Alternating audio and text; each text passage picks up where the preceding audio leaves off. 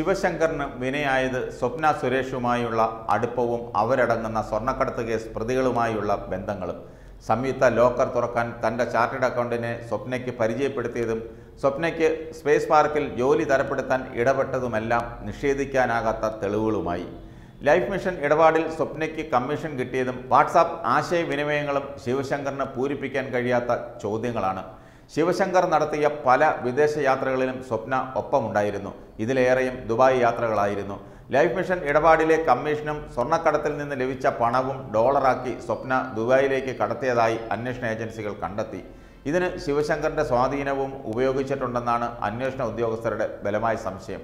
U A E കോൺസുലേറ്റിലെ ജോലി വിട്ട സ്വപ്നയ്ക്ക് space പാർക്കിൽ നിയമനം ലഭിച്ചത് ശിവശങ്കറിന്റെ ഇടപെടലിനെ തുടർന്നാണെന്ന് വ്യക്തമായിരുന്നു.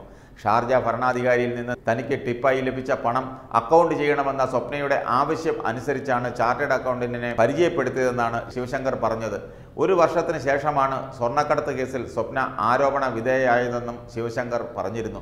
എന്നാൽ ശിവശങ്കറുമായുള്ള ബന്ധം സ്വപ്ന സ്വർണക്കടത്തിന് ഉപയോഗിച്ചിരുന്നോ എന്നത് എൻഫോഴ്സ്മെന്റ് പരിശോധിക്കുകയാണ്. സ്വപ്നയുടെ സാമ്പത്തിക ഇടപാടുകളെക്കുറിച്ച് ശിവശങ്കറിന് അറിയില്ലായിരുന്നുവെന്ന് കരുതാനാകില്ലെന്ന നിലപാടാണ് അന്വേഷണ ഉദ്യോഗസ്ഥർ കോടതിയിൽ സ്വീകരിച്ചത്.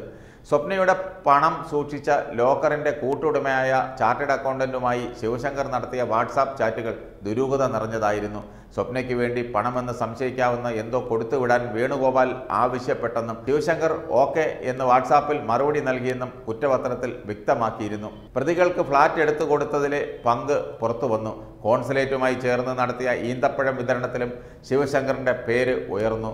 ശിവശങ്കറിന്റെ വാക്കാലുള്ള നിർദ്ദേശപ്രകാരമാണ് സർക്കാർ അനാഥാലയങ്ങളിലെ കുട്ടികൾക്ക് ഈന്തപ്പഴം വിതരണം ചെയ്തതെന്നും യു എ കോൺസുലേറ്റും സർക്കാരും തമ്മിൽ കത്തിടപാടുകളൊന്നും നടത്തിയിട്ടില്ലെന്നും സാമൂഹ്യ നീതി വകുപ്പ് ഡയറക്ടറായിരുന്ന ടി വി അനുപമ കസ്റ്റംസിന് മൊഴി നൽകിയതും ശിവശങ്കറിന് തിരിച്ചടിയായി.